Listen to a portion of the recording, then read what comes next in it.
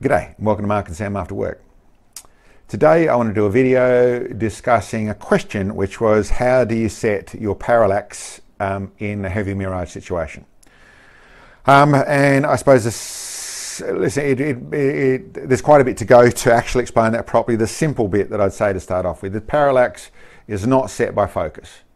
That can be a convenient setup of setting up your scope properly that yes, you get to focus and your parallax is correct, but it's not how you check parallax. Parallax and how you always set parallax is by making sure your crosshairs stay on your target when you move your eye around behind the reticle. That's how you set parallax. Focus is actually another thing, which like I said, can be set up. We've done a whole video on that. But that works largely the same in Mirage by making sure that regardless of how clear your image is. Um, but to answer it really, I'll come back and let's go and explain what, let's talk about Mirage. And that conversation moves into Mirage is light distortion through air or through the, the body that you're looking through. Um, so it creates a it creates from blurry to wavy to boiling to double image to that's what it actually is light distortion through through the air. Now, what causes that, a lot of people think is just heat. Um, and, and listen, heat can be an instigator without any question, but it's actually like going through air bodies, the, the, the joint or the, the, the, the boiling, the, the patch, the area where two different air bodies, two different air densities are working against each other. Now, heat can create that difference in pressure and difference in density. Um, just different bodies. We, I've seen that over where, where a crop, like a, yeah, a crop with different flowers on it, letting off gas, that can create a difference in air densities or difference in gas densities in that situation, uh, which creates a mirage. If you ever see a barbecue bottle and just releasing or just leaking and actually have a look at it in the right light, you'll see you can see a very sharp, tight little mirage out of that as well. Um, and you can still see a mirage on snow. You can see a mirage in in where there's where there's no sun or very light sun, and still have mirage, even though we're not talking about actual so much as heat. Um, and I suppose I'm saying cold to cold, cold to warm, warm to warm, warm to hot, to, to hot to hot. All those different things can create this. It's actually a density thing in the air we're talking about. Um, so that's what it is. Um, and I suppose where you'll tend to find it, or uh, what's the next step we'd go with? Um, the, the, reason we shoot with the way we shoot, where we shoot first thing in the morning is what we tend to shoot, and sometimes last thing in the afternoon. The reason we do that is because largely air, um, or the mirage we're talking about, is created by warmer or different temperature ground air versus the air that's coming in over the top, which or different density, I should say. Largely it's temperature induced, but it's just a difference in those temperatures and it comes in. So that's generally through the day and certainly through the moderate part of the day, both before and after noon. But where it doesn't really exist very much is in the night time when there's no sun warming up the ground. And you'll tend to find for the first um, 10 to 15 to 20 minutes to even an hour of the sun coming up where you've got good light, but the ground has not warmed up too aggressively to where it hasn't reflected or warmed up the ground air too aggressively, and there's not too much of a difference between the flowing air coming in across it. Now, there's other reasons for this. There's other places this happens of different air bodies mixing and all that sort of stuff. But that one there is probably the, the main thing that we generally are dealing with. So what we do is we're set up ready to shoot just on dawn. The sun comes up, we get nice bright image, and we don't have a mirage for only a fairly short while. We don't have mirage, and the same thing happens at the end of the day. These are only short panels in time, probably a little more at the end of the day. And what's actually happened is the ground air has warmed up, the, the, the flowing air is all warmed up. It's all about the same temperature, all about the same density because of that, and that then causes to have low mirage in the end of the day. Sometimes you'll get the middle of the day exactly the same thing.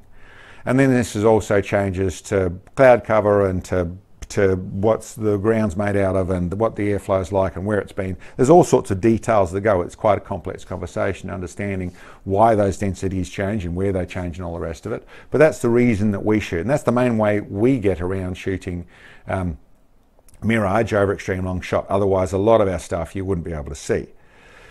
But I suppose then we'll get into more of what I'm actually talking about with Mirage and what it's actually doing. When you look at, when you realize that it's bending light that causes those images. Now, I'll go through some of the mirages and some images here. Whether it's a boiling mirage or it's a, that low wavy one going through the mid range where you can see your, where you can read wind, or it's a just a blurry image, um, which you, is hard to see the you're hard to see your target with, or it's an image which is quite sharp but wriggling around all the place. These are all different forms of mirage, and it's to do with the way you're looking through that air, that, that density difference in the air.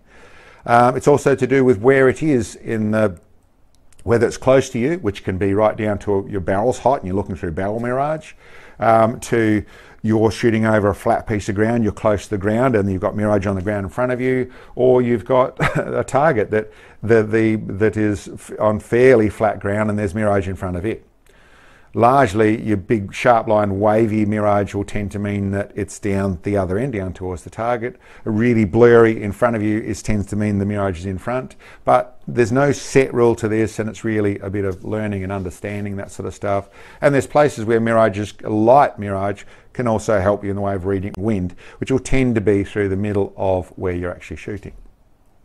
Um, ways to get around it because of those things is where you position your target. If you're positioning across a long flat section, because that's where your target is, you're more likely to have mirage issues when you've only got a gradual cre- increase to it.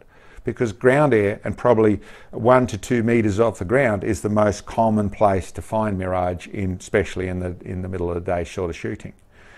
Um, if you're shooting flat to the ground and you've got a long flat area in front of you and you're only six inches to a metre off the ground, or half a metre off the ground, that's very likely that there's a mirage in front of you. It'll probably make a blurry image, but it's very likely to be just in front of you. Simply raising, elevating yourself, getting to a different piece of land that has a bit of a, a drop off in front of it, shooting on the back of your truck, all those sorts of things can actually help. If you're, it depends what sort of shooting do, getting up on a tripod and standing position can actually get you out of mirage sometimes. I mentioned barrel mirage.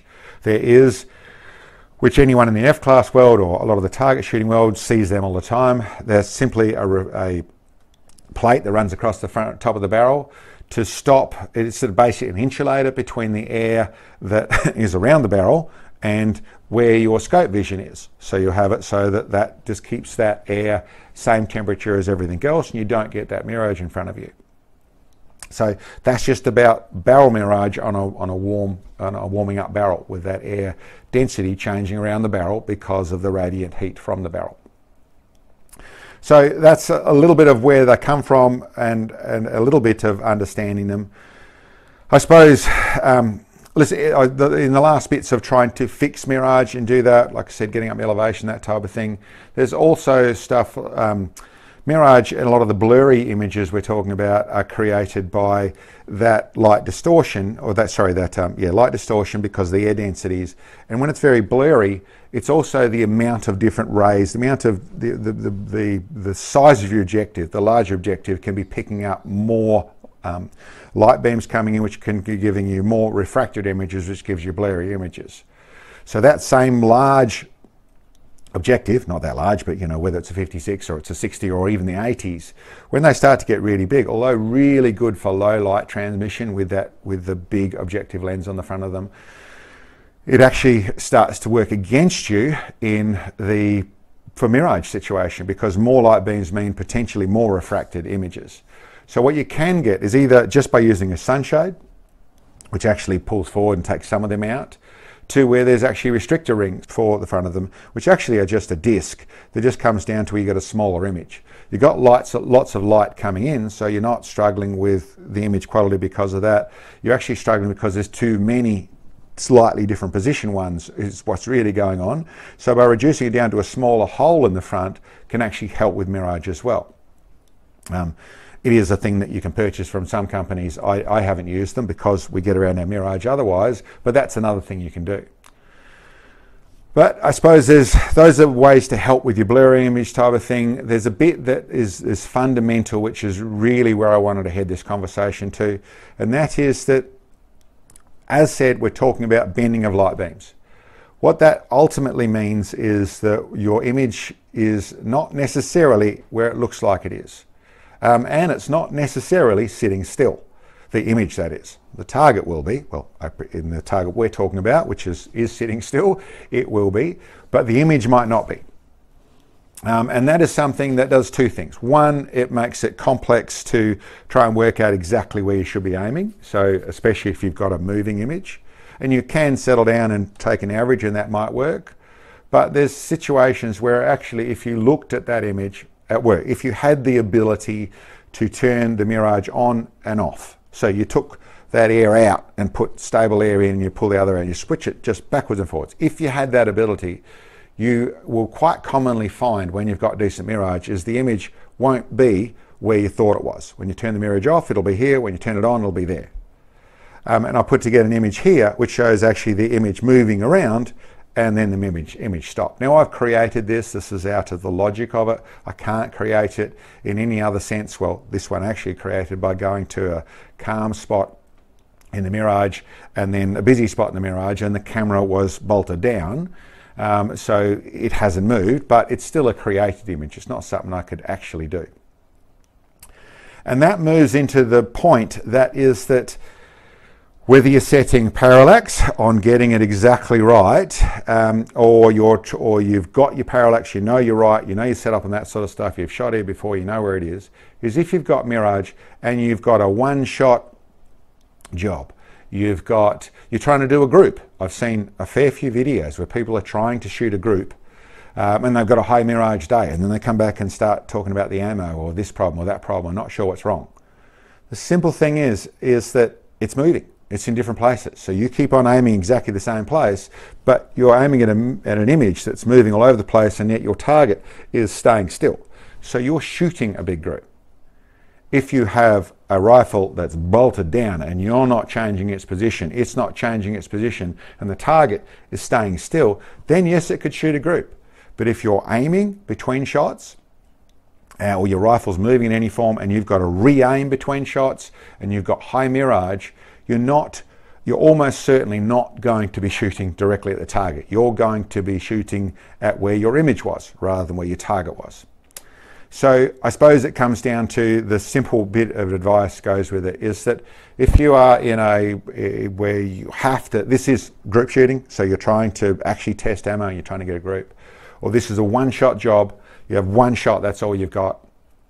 Then if you're in moderate to high mirage, that's a no-shoot situation find a way around the mirage, which is probably a different time of day, but maybe you can correct it in some other form, which is by changing your position and getting around that that that that that bending air. Um, if you're just trying to do the best, this is a competition, this is out having fun, that sort of stuff, then you try and work with it. I, I certainly we shoot um, sometimes we're out plinking and we're dealing with decent mirage. It's a it's a challenge. It can be a fruitless, frustrating waste of time if you've got a bad enough mirage and you just can't get it on target because the light is just always going to push you off when you're shooting at small things and you've got too much mirage. But there's it can be a challenge of, of working out how to deal with it. Which can be wait and, and hold your crosshairs on and see where the target moves and, and figure out that okay, that's about the middle, that's where I'm going to shoot and that can work. Of course, the middle isn't necessarily the middle, so it isn't necessarily the middle, so it might not work. But I think, listen, that's an overview. Um, largely um, for, for real group shooting in the way of really testing ammo, for really trying to stretch your boundaries. For obviously, we, de- we deal with extreme stuff, which means that you know one MOA is more than the target. It's a complete miss at a lot of the stuff that we're talking about. So Mirage is not something we can combat very much at all. We also have the challenge of the fact that we shoot videos, so blurry, horrible image. You can't see anything is not worth showing anyone. But that's how we get around it, and that's some ideas of how to, to answer that question. I hope that was of some value to some people. Um, hope you enjoyed, and we'll um, catch you next time.